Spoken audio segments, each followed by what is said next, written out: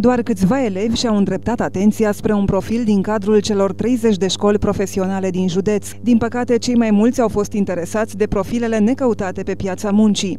Astă vară, de pildă, le-am propus un uh, domeniu și o meserie foarte bună, după părerea mea, uh, uh, instalator în construcții și instalații și nu au venit decât 5 elevi din județul Gorj care doresc să învețe o astfel de meserie, ceea ce mi se pare foarte uh, grav.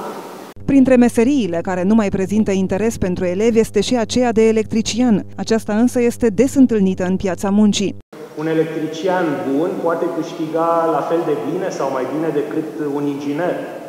Meseriile sunt tot mai puțin căutate într-un județ în care numărul șomerilor depășește frecvent cifra de 12.000 de persoane.